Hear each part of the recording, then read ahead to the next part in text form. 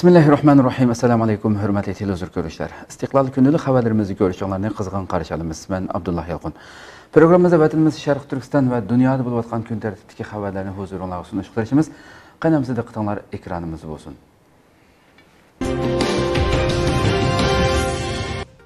Xitay hərbi aeroplanları Tayvanga yana təcavüz qılıb kirdi.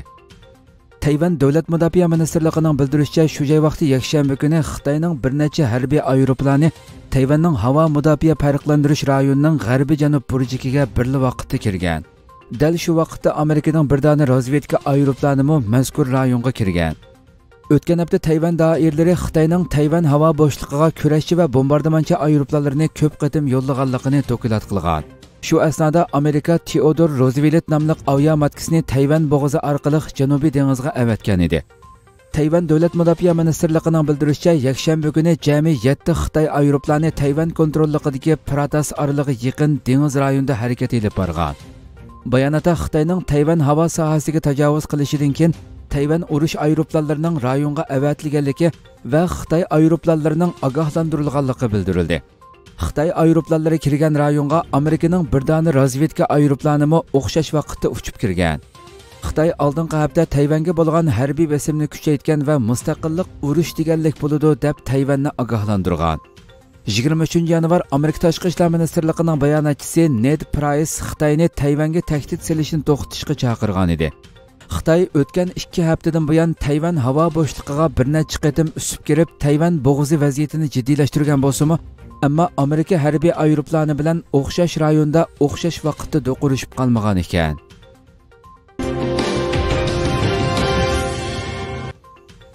Amerika xitoyga badal to'latishga hozirlanishi lozim.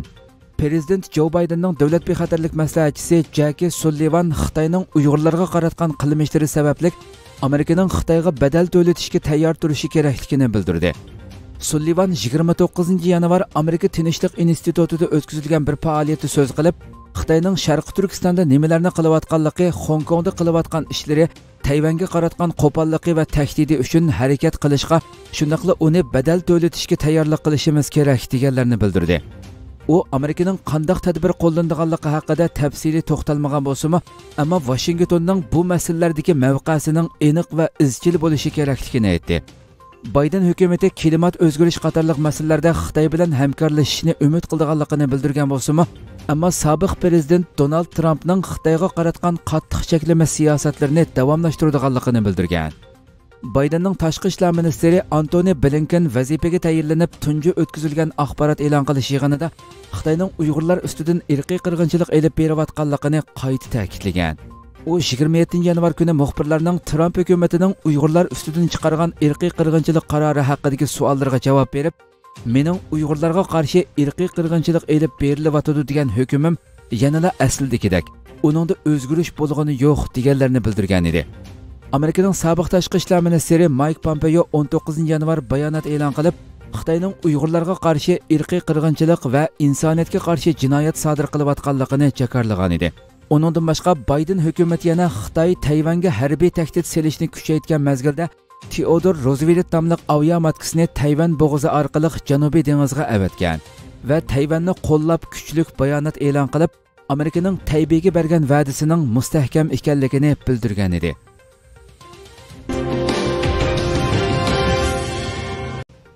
Yevropa parlamenti a'zolari Yevropa Xitoy mablag' selish kelishimini buzishga hozirlandi. Yevropa parlamenti a'zolari Uyg'ur kishilik huquq masalasi sababli yaqinda hozirlangan Yevropa Xitoy mablag' silish kelishimini buzishga taraddud qilgan. Irlandiyada chiqadigan mustaqillik gezining xabar qilishicha, ko'plagan parlament a'zolari mazkur kelishimni Xitoyda Hong Kong va Uyg'urlarga qartilgan bostirish davom qilayotgan sharoitda oldirab tenib tuzilgan kelishim deb qaraydi ekan. Yevropa Birligi bilan Xitoy orasidagi mablag' silish kelishimi 2020 yili dekabrda tuzilgan bo'lib, bu kelishim xalqaro kishilik huquq organlari jumladan Amerika va Angliya qatorliq allarning kuchlik tanqidiga uchragan edi.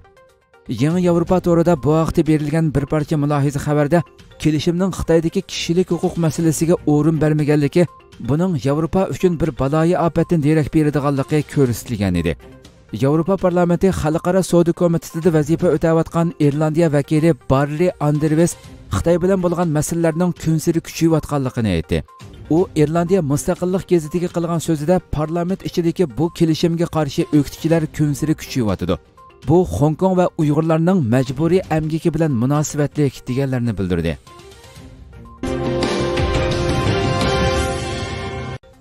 Xitoyning sharqi turkiston xalqini izqo'g'lash asbobi bilan kuzatganligi oshkorlandi. Xitoyning sharqi turkistondagi xalqni izqo'g'lash asbobi bilan kuzatganligi oshkorlandi. Landasofit shirkati tadqiq qilib yasab chiqqan va Xitoy rejimi Sharqi Turkiston xalqini nazorat qilish uchun ishlatgan sonliq ma'lumot ombiridan erishgan uchurlar Beijing rejimining Sharqi Turkiston xalqining bo'libmi Uyg'urlarning barliq aloqasi va turmushining qandoq ko'rsatilganligini oshkorlab berdi. Amerika Intercept xabar to'ri erishgan va Urumchi markazlik sonliq ma'lumot ombirida Uyg'urlarning telefon xotirlari, sayohatlari va tuqqanlar bilan bir yerga yig'ilishi qatorliq butun shaxsiy hayotining o'tirg'a chiqdi sonliq ma'lumot ombirda yana gumonliq deb qaralgan kishilarning tutqun qilinib har qanday bir jinoiy ishlar xotirasi bo'lmagan asosdami telefonlariga iz qo'g'lash asbobi taqalganligi hatto ba'zi kishilarning uylariga ko'zitish kamerasi o'rnatilganligi kishilarning tuqqanlarining uylariga borgan diniy suhbatlarni qilishgan yoki anglaganligi bayqalib qolsa jazo lagerlariga qamaldiganligi xitoy sirtida sayohat qildiganlarning oila a'zolarining yaqindan ko'zildiganligi davlat ichida sayohat qildiganlarning borgan yerlardagi eng yaqin soqchixonaga berib o'zini yaqindan ko'zitishni talab qilishga majbur ekanligi bayon qilingan dunyo sahiya tashkiloti mutaxassislari xitoyda tekshirishni boshladi dunyo sahiya tashkiloti mutaxassislari xitoy virusining manbasini tekshirish uchun xitoyga berib virusning boshlanish nuqtasi deb qaralgan vuhandagi xunan beliq bozorida tekshirish bordi dunyo sahiya tashkiloti mutaxassislari taxminan ikki hafta ilgari vuhanga berib qoida bo'yicha ikki hafta karantinada turgan.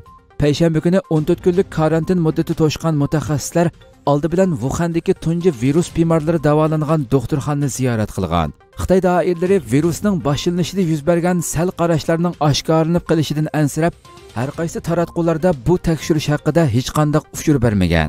Ammo dunyo sahiya tashkiloti mutaxassislari bu haqda twitterda yozma e'lon qilishi orqali tekshirishga munosabatlik uchurlarni tarqatgan. Yuqumga aylangan xitoy virusining tunji vaqalari 2019 yili vuhan shahrida paydo bo'lgan. Ba'zi tadqiqotchilar sars cov 2 deb atiladigan yangi tipdagi xitoy virusining xunan biliq bozoridagi shaparanglardan insonlarga tarqalganligini o'ttirg'a qo'ygan.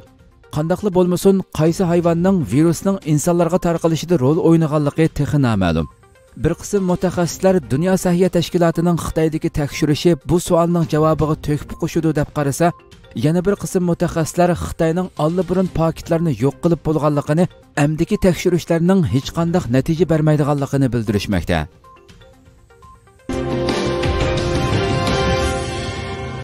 Xitoy angliyaning xonkongliklar uchun chiqargan angliya pasportini e'tirof qilmaydiganligini e'lon qildi.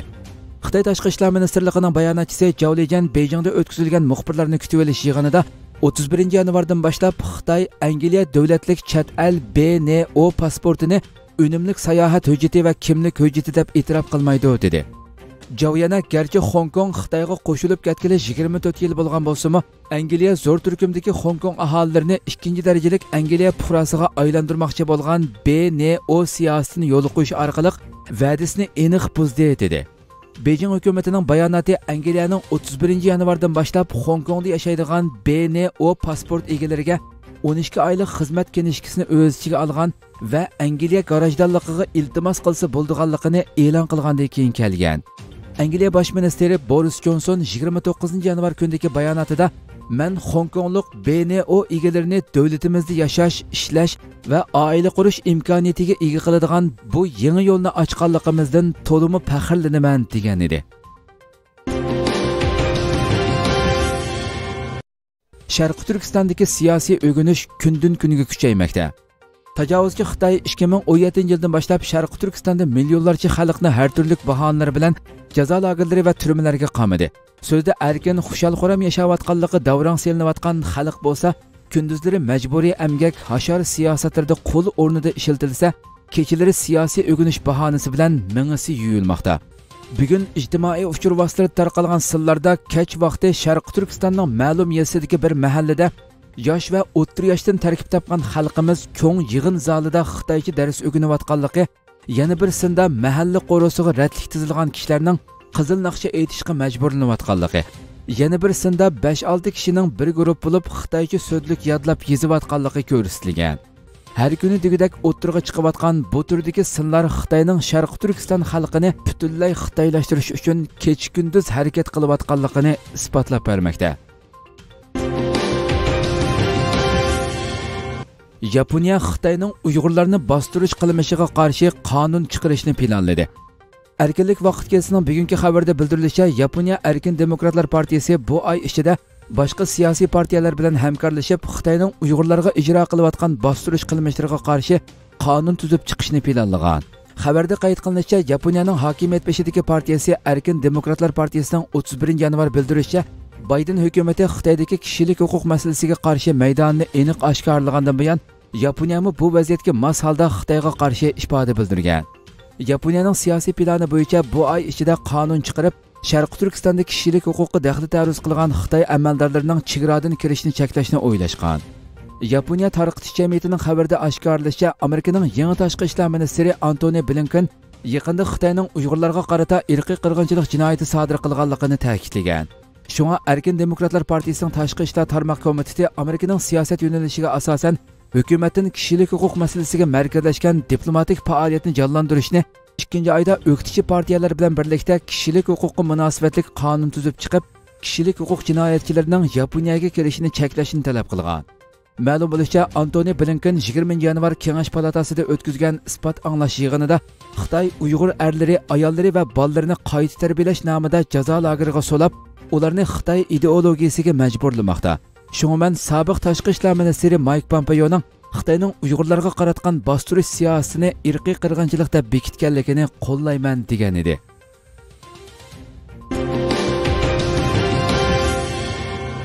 beshinchi fevral g'ulji qirg'inchiligi axborot e'lon qilish yig'ini o'tkaziladi 5 fevral g'ulji qirg'inchiligining 24 yilni xotirlash munosabati bilan xalqaro sharqi turkiston tashkilotlar birligining tashkillashida 5 fevral istanbul vaqti soat 11 da axborot e'lon qilish yig'ini o'tkazildi. 5 fevral g'ulji qirg'inchiligi 1997 yili qadr kechasida yuz bergan bo'lib xitoyning sababsiz tutqun qilish kamsitish qilmishlariga tinch shaklda norozilik bildirgan necha yuzlagan uyg'ur xitoyning qurolli qismlar tarafidan ig'ir va yinik tipdagi qurollar bilan qirib tashlangan. Necha ming uyg'ur tutqun qilingan. Bu qatimliq axborot e'lon qilish yig'inida 5 fevral qirg'inchiligi va shehidlar xotirlandi. Шунақлы Қытайның нөвәтті садыр қылыватқан жинайы қылмыштыры Шарқы Түркістанның әң еңі вәзиеті тұныштырылды. Қытай вирусы yuqumi сәбәплік yig'inga faqat har qaysi tashkilot vakillari va axborot xodimlari taklif qilindi. Yig'inning tafsiloti Istiqlol televiziyamizdan naq maydondan tarqitildi.